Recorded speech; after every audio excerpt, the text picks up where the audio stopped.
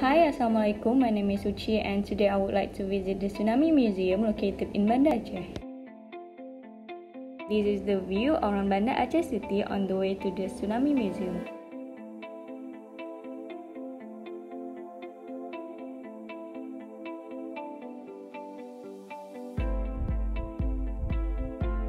After arriving at the Tsunami Museum, it is unfortunate that the museum is currently closed due to the pandemic and renovation.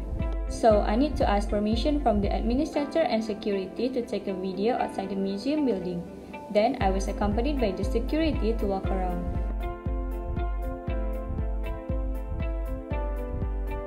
This is the museum management office. And this is the landscape element around the museum.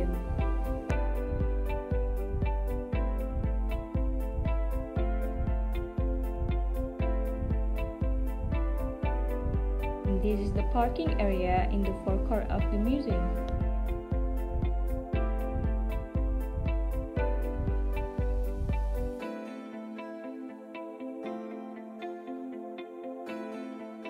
Beside the parking, there is an NGO car relic that helped distribute aid during the tsunami in Aceh. In this museum, there is also a cafeteria and prayer house.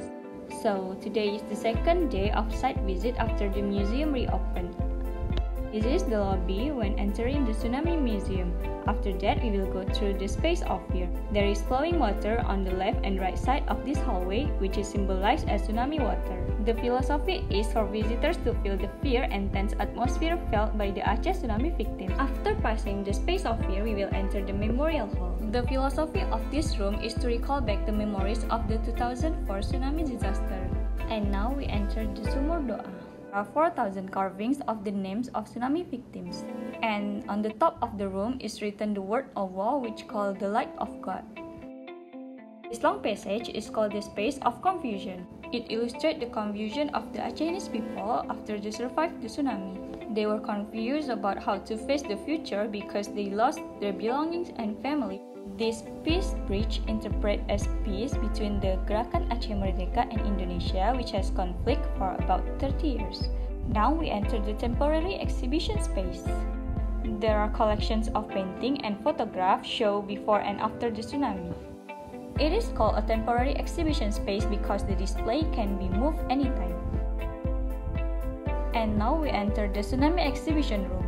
This room displays a replica of how the situation during the earthquake and tsunami. Previously, this room also contains various objects raised by the tsunami wave donated by the Acehnese community. However, these items are temporarily displayed during the renovation and will be displayed again after the renovation complete. These are 54 stone monuments engraved with the names of countries involved in existing Aceh during the tsunami.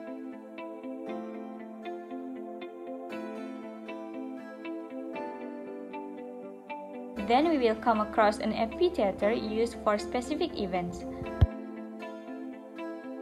And this is a car that was damaged during the tsunami. So this is the view of the parking area behind the museum. On 11 December 2020, I went to Balai Arsip Nasional to get the Tsunami Museum site plan because all the museum data is only stored in this building.